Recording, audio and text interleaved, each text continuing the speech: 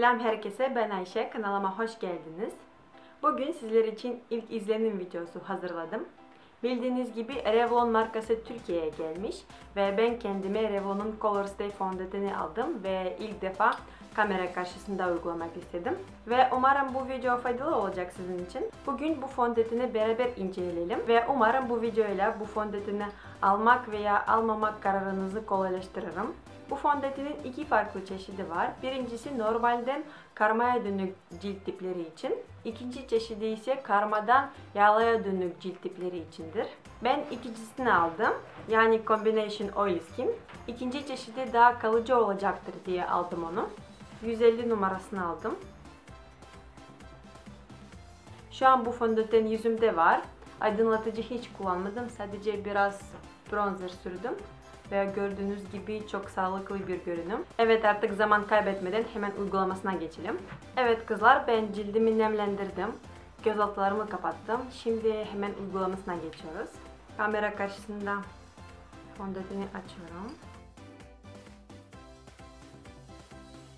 Ve tahmin ettiğim gibi pompa maalesef yok. Biraz çalkalıyorum.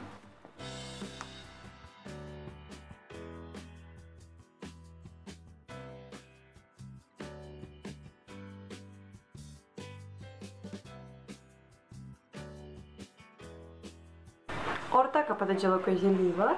Anladığım kadarıyla.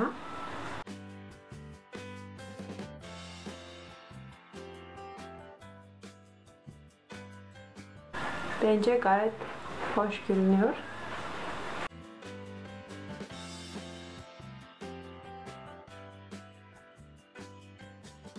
Biraz kaşlarıma bulaştı.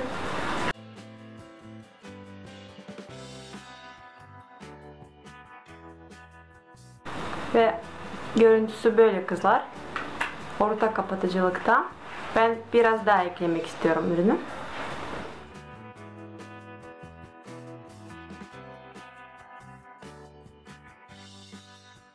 Biraz daha ekledikten sonra full kapatıcılık oldu diyebilirim. Bu arada 150 rengi bana uydu. Şöyle boynumla karşılaştırmak gerekirse hemen aynı rengi gördüğünüz gibi. Daha yakından göstereyim size. Çok hoş görünüyor bence. Şu ana kadar çok memnun kaldım. Gün içerisinde bu fondöten nasıl davranacak hep beraber bakalım. Evet kızlar 4 saat geçti ve gördüğünüz gibi fondötenim hala yüzümde var. Hatta parlama hiç yapmadı. Bu arada ben pudra yüzüme hiç sürmedim. Aydınlatıcı da uygulamadım ama gördüğünüz gibi şu bölgelerde sanki aydınlatıcı uygulanmış gibi görünüyor cildim. Ve videomun başında söylemek unuttuğum bu fondötenin bir avantajı var.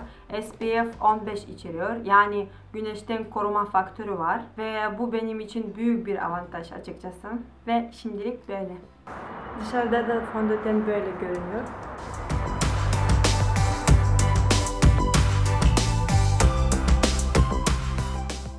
Evet kızlar fondöteni uyguladıktan sonra 9 saat geçti ve cildim böyle görünüyor. Bence fena değil çünkü ben transparan pudra hiç kullanmadım. Yağ kontrol mendilleri kullanmadım. Bence gayet başarılı bir ürün. Ben çok memnun kaldım ve severek kullanacağım diye düşünüyorum. Tekrar söyleyeyim ben karma ve yağlı ciltler için versiyonu aldım. Eğer kalıcı fondöteni arıyorsanız bu fondötene bakabilirsiniz. Önerebilirim. Ve videom bu kadardı. Umarım bu video faydalı olmuş sizin için. Kendinize çok iyi bakın. Hoşçakalın.